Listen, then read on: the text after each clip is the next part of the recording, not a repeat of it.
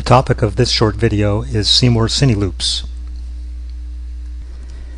When you're scanning with SeeMore, we automatically save the last 32 frames whenever you freeze. So I've just frozen this image, and if I click on the green Cine arrow, you can see I'm replaying the loop.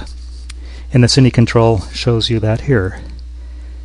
If I freeze the image, I can move frame by frame by using the left or right arrows on my keyboard.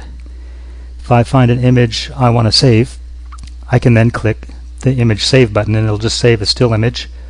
Or I can save the entire Cine loop by clicking on Save Cine and I'll just make up a name for it. Click Save and I've just saved that Cine loop. You'll notice that both of these green arrow buttons are active so I can hit Cine and again look at the Cine loop.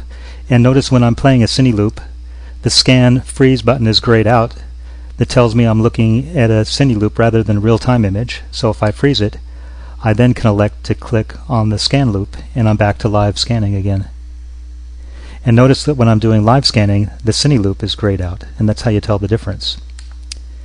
Something else you should know about Cine loops is they take a lot of memory in the default preferences menu, we see that the default is 32 frames, which is about a second, which is about 15, 16 megabytes.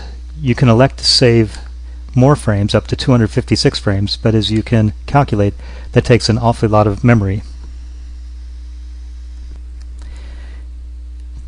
It's easy to review Cine Loops. You just click the Load button under Cine, and I can then go, I'll open up a loop I saved previously. So I've pulled up this loop and again I click on the play arrow.